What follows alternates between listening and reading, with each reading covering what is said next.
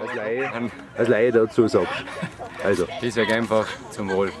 warte, dann fragen wir den Trainer, was sagt denn der Trainer dazu? Gleicher Meinung, auch zum Wohl. Ja, haben die ja nicht mehr zum Sagen, oder wie? Nein, leider nicht. Kriegst du nochmal eine Chance? Das Richtige geöffnet vorher haben. Soll ich das sagen? Ja, Geheim, Geheimwaffe. ich okay, okay, okay, warte, ich folge da ganz unauffällig. Dir. Aber 6 Liter. Aha, okay. So, und wie war das mit der Motivation von daheim aus? Ja, das dürfen wir nicht öffentlich sagen, das ist noch geheimer. Aber du hast daheim einen Coach, der dir da entsch entscheidende Tipps mitgibt auf dem Weg. Die freie Moderator, gell? das ist total. Immer die Bohrerei. Dankeschön. Dankeschön. Das reicht schon.